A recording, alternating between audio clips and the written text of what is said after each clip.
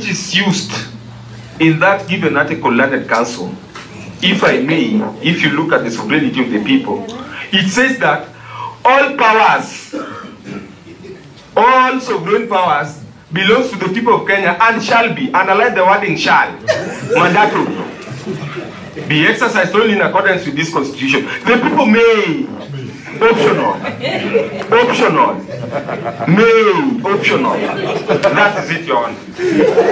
No, no, complete it, complete it. May, may uh-huh. exercise their sovereignty power either directly or through their democratically elected. So the wording, the conjunction may.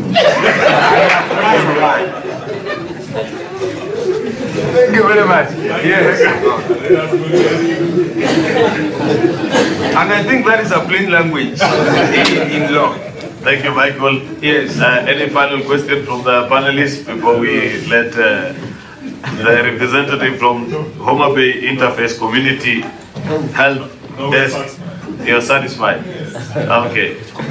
Uh, we, we, we may let him go. Before he goes, let me go. Before you go, maybe Michael, we shall let you go. because may is optional.